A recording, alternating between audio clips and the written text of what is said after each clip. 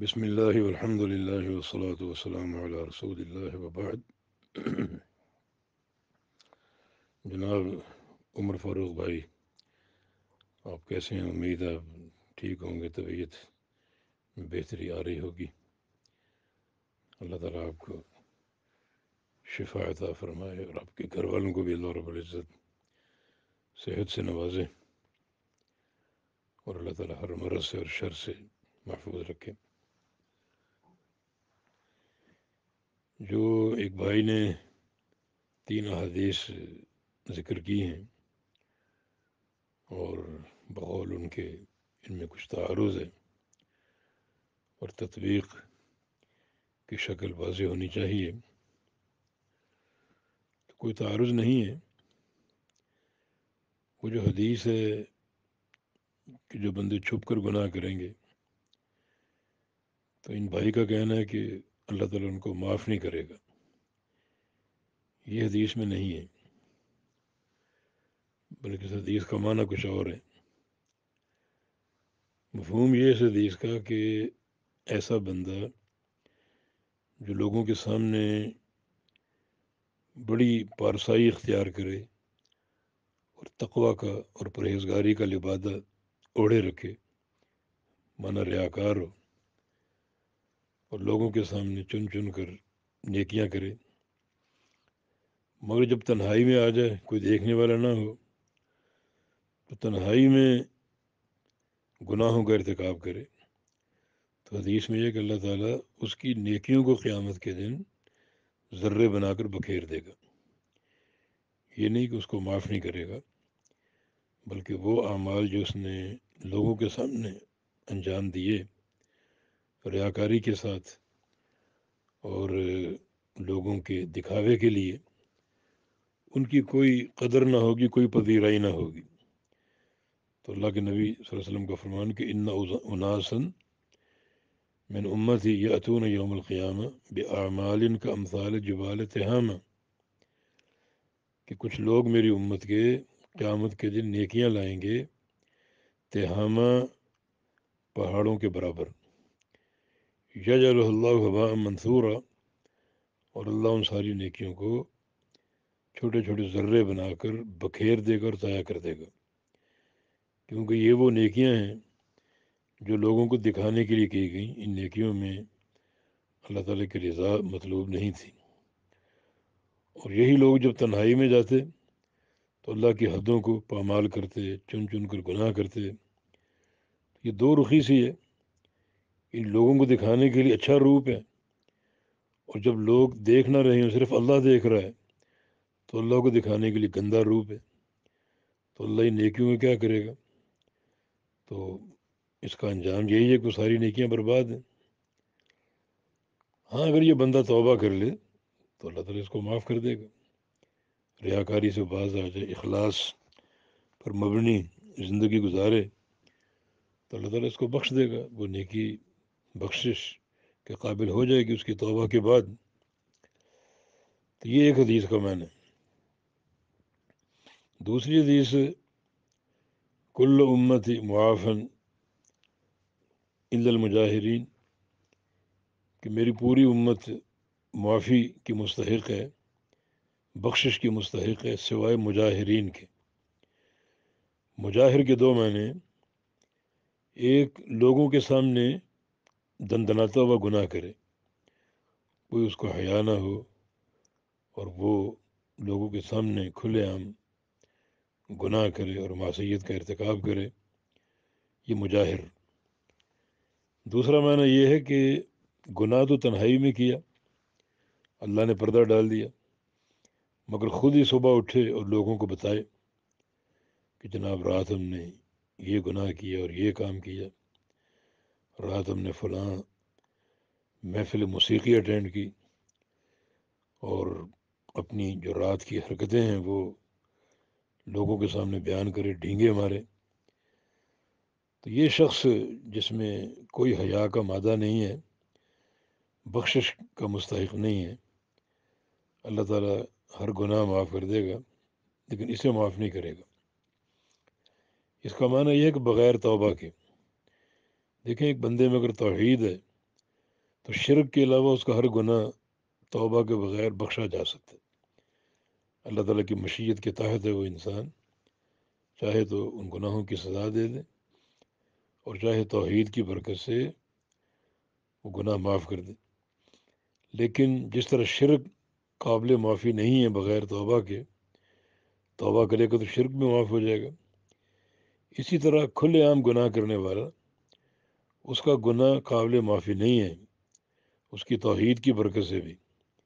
لیکن اگر وہ انسان بھی توبہ کر لے، اپنی روش سے باز آ جائے، تو اللہ تعالیٰ اسے بھی بخش دے گا۔ تو پھر کوئی تعارض نہیں ہے۔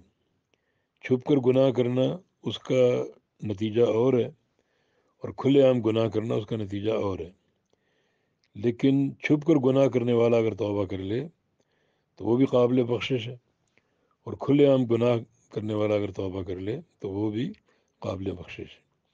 چھپ کر گناہ کرنے والا یہ وہ شخص ہے جو ظاہری طور پر نیکیاں کرے لوگوں کو دکھانے کے لیے ریا کار ہو، مگر جب تنہائی میں جائے اور لوگ اس کو نہ دیکھ رہے ہوں، تب وہ اللہ کی حدوں کو پامال کرے اور چن چن کر گناہ کرے۔ تو ایسا شخص اس کی نیکیاں بالکل بے قدر ہوں گی۔ اللہ تعالیٰ بڑا قدردان ہے نیکیوں کا، مگر اس کی نیکیوں کو اللہ تعالیٰ ذرے بنا کر بکھیر دے گا، کیونکہ وہ اللہ کے لیے نہیں تھی۔ اور جو کام اللہ کے لیے ہو، اس پر اللہ راضی ہوتا ہے۔ نبی السلام یہاں تک فرمایا کہ ایک بندہ اگر حلال کمائی سے کھجور خرچ کر دے، اللہ کو دے دے، صرف اللہ کے لیے، اس میں کوئی ریا کاری نہ ہو۔ اور کھجور میں کیا ریا کاری ہو سکتی؟ تو اللہ اتنا راضی ہوتا ہے کہ وہ کھجور اپنے دائیں ہاتھ میں لے لیتا ہے اور اس کو اپنے ہاتھ میں رکھ کے پالتا ہے، قیامت تک پالتا رہے گا۔ حتیٰ کہ فرمایا کہ وہ قیامت کے دن اللہ کے میزان میں عہد پہاڑ سے بھاری ہوگی۔ تو یہ اخلاص کا اللہ قدردان ہے۔ ریا کارے والے اعمال برباد ہیں۔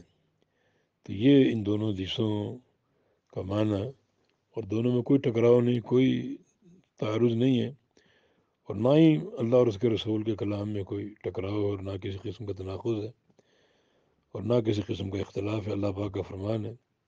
لوکان من عند غیر اللہ لوجد و فی اختلاف کثیرہ اگر یہ کتاب و سنت غیر اللہ کی طرف سے ہوتی تو بڑا اس میں تناخذ ہوتا۔ لیکن چونکہ اللہ کی طرف سے ہے، تو ہر قسم کے اختلاف سے، تناقض سے، تعارض سے اللہ کا کلام محفوظ ہے۔ یہ الگ بات ہے کہ ہمارا فہم اس تک پہنچ پائے یا نہ پائے۔ اللہ کے کلام واضح ہیں۔ اور اس میں کسی قسم کا تناقض نہیں ہے۔ جو تیسری حدیث ہے کہ اگر تم گناہ نہ کرو، تو اللہ تعالیٰ تمہاری جگہ دوسری قوم کو لائے گا جو گناہ کرے اور معافی مانگر اللہ ان کو معاف کرے۔ دراصل، اللہ تعالیٰ کے علم میں ہر شے ہے۔ اس کو بولتے ہیں اللہ تعالیٰ کا علم سابق۔ ہر شے کو وہ جانتا ہے، اس کے وقوع سے پہلے۔ ایک کام صدیوں بعد ہونے والا اللہ کو آج علم ہے اس کا۔ تبھی تو اللہ تعالیٰ نے آسمان و زمین کی پیدائش سے بھی پہلے، پچاس ہزار سال پہلے، ساری مخلوقات کی تقدیریں لکھنی اس کے علم میں ہے۔ اللہ تعالیٰ کے علم میں ہے، کون بندہ گناہ کرے گا اور توبہ کرے گا۔ تبھی تو اللہ تعالیٰ کی اسماء اور صفات میں کچھ نام ایسے ہیں جن میں توبہ اور استغفار کی اہمیت بڑھ جاتی ہے۔ اللہ تعالیٰ الطواب ہے یعنی توبہ کی توفیق دینے والا اور توبہ قبول کرنے والا۔ اللہ تعالیٰ العفو ہے، بندوں کے گناہوں کو مٹا دینے والا۔ اللہ تعالیٰ الغفور ہے، خوب بخشنے والا۔ الغفار، خوب بخشنے والا۔ الستیر یا ستار، گناہوں پر پردہ ڈال دینے والا۔ اور اگر اللہ کے بندے گناہ کریں ہی نہ، تو ان اسماء اور صفات کے آثار کیسے سامنے آئیں گے؟ جیسے اللہ تعالیٰ خالق ہے۔ اگر وہ خلق نہ کرے، مخلوقات کو پیدا نہ کرے، تو اس کے خالق نام کا اثر اور نتیجہ کب سامنے آئے گا؟ تو اللہ تعالیٰ کی جو صفات ہیں، ان کا تقاضا یہ ہے کہ بندے گناہ کریں اور گناہ کر کے استغفار کریں۔ اچھا اس میں اب غور کریں آپ، اس میں ترغیب گناہ کی نہیں ہے۔ ترغیب استغفار کی ہے۔ کیونکہ کلو بنی آدم و خطاون انسان سے گناہ ہو ہی جاتا ہے اور کوئی معصوم نہیں ہے اور گناہ سے پاک نہیں ہے۔ تو ترغیب، توبہ اور استغفار کی ہے کہ اگر گناہ ہو جائیں تو قطن مایوس نہ ہوں، بلکہ توبہ اور استغفار کر لیں تاکہ اللہ رب العزت کا یہ جو جو اسماء اس کے ہیں، الستار الطواب العفو، الغفور ان اسماء اور صفات کے نتائج اور ان کے آثار لوگوں پر نمایاں ہوں کہ اللہ تعالیٰ خوب بخشنے والا ہے اور خوب توبہ قبول کرنے والا ہے اور ایک انسان اگر گناہ نہ کرے اور پھر توبہ کا تو پھر سوال ہی نہیں، تو کیسے اللہ تعالیٰ کے ان اسماء کے آثار سامنے آئیں گے؟ اور ایک انسان گناہ کر لے لیکن توبہ نہ کرے، تو اللہ تعالیٰ کے معافی کے آثار کیسے سامنے آئیں گے؟ تو حقیقت یہ ہے کہ بندوں سے گناہ ہو جاتے ہیں ترغیب یا گناہ کرنے کی نہیں ہے، بلکہ ترغیب گناہ ہونے پر توبہ اور استغفار کرنے کی ہے اور اللہ تعالیٰ سے معافی مانگنے کی ہے۔ تاکہ اللہ تعالیٰ کی یہ جو اسماء حسنہ ہیں، جن میں گناہوں کی بخشش کا ذکر ہے، تو ان اسماء کے نتائج اور آثار جو ہیں وہ نمایاں اور واضح ہوں۔ اسی لیے رسول اللہ صلی اللہ علیہ وسلم کی حدیث ہے کل و بنی آدم خطاون و خیر الخطائین توابون کہ ساری اولاد آدم خطا کار ہے اور سب سے بہترین خطا کار وہ ہے جو خطا خطا کر کے توبہ کر لے۔ تو خطا کرنے والا بہترین نہیں ہے، بلکہ خطا کر کے توبہ کرنے والا بہترین ہے۔ اور یہی ان حدیث کے معنی اور ان مطالب ہیں کہ ایک انسان اگر گناہ کر لے تو مایوس نہ ہو، بلکہ اللہ تعالیٰ کی صفت، مغفرت، اس کا نام الغفار الغفور، اس کا نام العفو، گناہوں کو مٹا دینے والا اور اس کا نام الطواب توبہ کی توفیق دینے والا توبہ قبول کرنے والا۔ ان ناموں پر ایک حسن ضنی پیدا کرے اور اللہ کے دربار میں دستک دے اور فوراً توبہ کرے۔ تو یہاں ان حدیث میں ترغیب گناہ کی نہیں دی جا رہی، بلکہ گناہ تو انسان کی فطرت ہے۔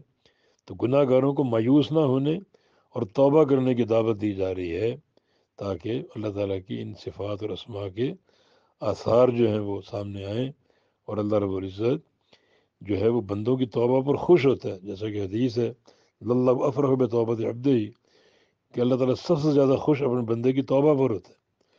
تو خوش گناہوں پر نہیں ہوتا، بلکہ خوش گناہ گار کے توبہ کرنے پر ہوتا ہے۔ تو قطن یہ نہ سمجھیں کہ ان احادیث میں گناہ کی ترغیب دی جا رہی ہے، بلکہ گناہ تو انسان کی فطرت ہے۔ ترغیب یہاں توبہ اور استغفار کی ہے۔ واللہ عالم السلام علیکم ورحمۃ